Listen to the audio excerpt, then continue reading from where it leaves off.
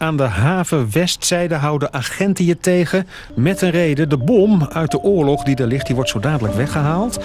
Ellen Nieuwenhuizen, jij gaat dat voor ons volgen. Eh,